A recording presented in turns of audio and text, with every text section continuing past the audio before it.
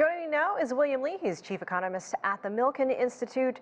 William, um, got to ask for your reaction to this IMF World Bank global growth forecast. Any surprises?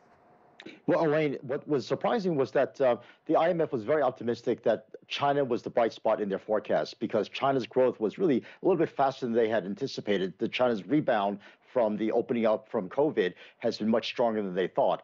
And one thing they didn't mention, though, was that unfortunately China's growth is mainly domestic services and domestic consumption. And that's the policy that Xi Jinping has put in place. And that's a right policy for China to rebalance its mix toward more domestic consumption. But that also means that it's less of a locomotive effect for the rest of the world. That is, China will not be importing as much from the rest of the world. And, ex- and the export engine that China has always been may not fire as strongly as it has before because the orders from the rest of the world have been very weak because the rest of the world is now concerned with fighting inflation and growth has been slowing down in the rest, in the U.S. and in Europe. Well, let's break this all down. Um, let's start with the domestic front. Um, what are you seeing there? I mean, people are coming out of COVID, they're starting to travel. Um, are things there moving a little faster than expected? The IMF and the World Bank's forecast a little bit more optimistic than even the Chinese government.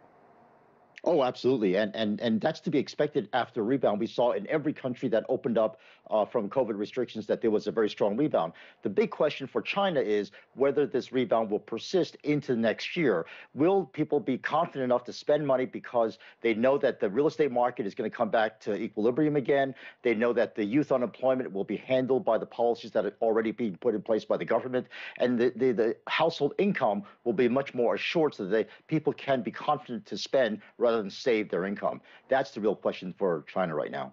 Right, and I think you, you mentioned the timeline. You know, how much of what's happening in China will will we see this ripple effect? How long before we see something happen in in the region and other parts of the world? Are we thinking the end of the year, early 2024, especially areas that are still suffering from high inflation?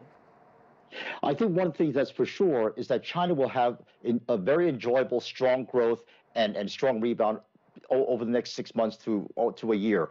The, the, the question is, will the growth in Asia, which has been, been becoming the source of a lot of China's uh, manufacturing prowess and, and has really been a, a, place where a lot of Chinese manufacturing has gone to, will the rest of Asia be, uh, their growth also allow China to grow? Because China now will have new markets with which uh, to uh, export intermediate inputs and to import uh, final goods and services from uh, from these countries. So the growth in Asia can be a very good thing for China if China's domestic consumption sustains itself, and more importantly, income growth and confidence comes back to the uh, to the Chinese economy.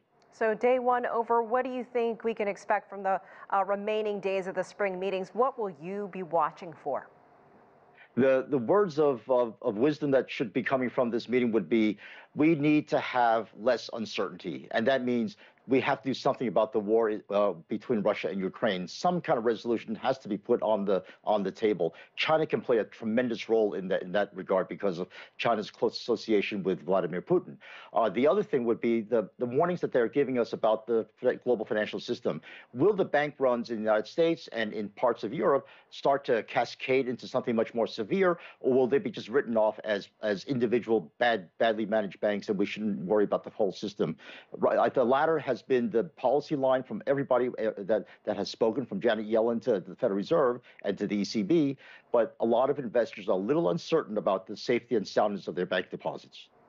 William Lee, always great to get your take. Thank you for joining us as always. Thanks, Elaine.